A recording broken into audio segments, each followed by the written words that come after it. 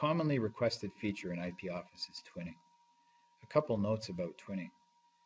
Twinning requires IP lines or PRI lines to function properly.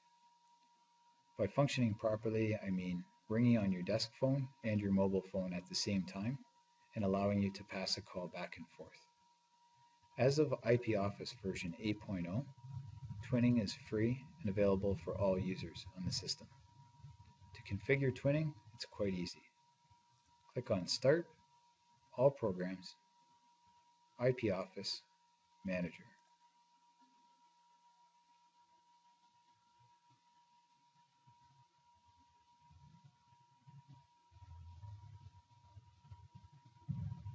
When Manager opens, it looks around the network for all available IP offices.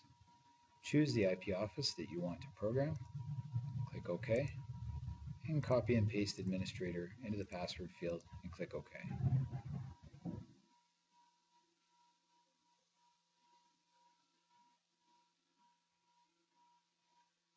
When the configuration opens, click on User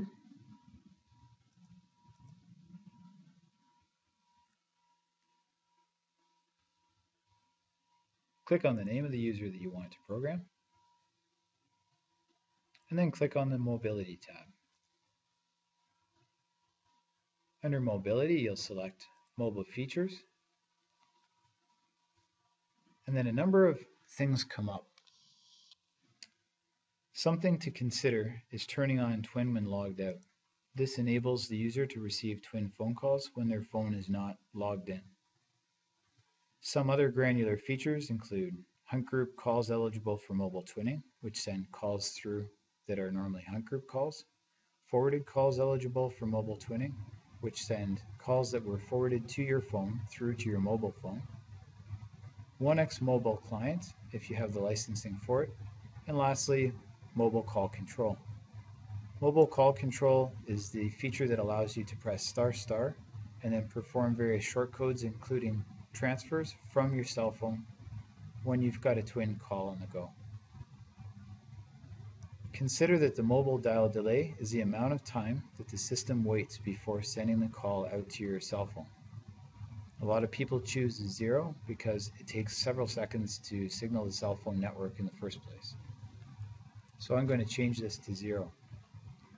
At this point, we could turn on twinning for the user by selecting the twinning checkbox and we could populate the user's number. Unfortunately, I don't know that person's cell phone number, so I'm going to deselect that and allow him to press it himself. I'll click OK, and then go to button programming and ensure that he has the twinning button. In the button programming tab, we can see that he already has a twinning key. The way that we program that is double click on an available button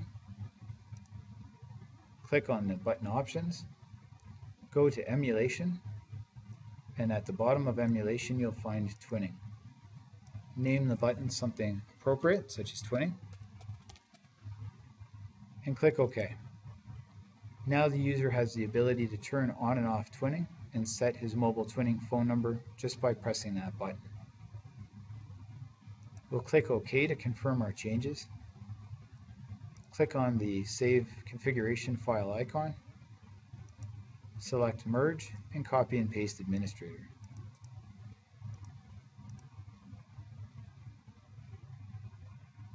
You've now set up twinning for this user. You'll go to the user's phone, press the twinning button. It will prompt you for a cell phone number because we didn't know the number to populate. Once entered, with the dial prefix code in our case 9 to dial an outside line. If you don't have a dial prefix code, certainly don't put one in. Once populated, uh, twinning will automatically be on.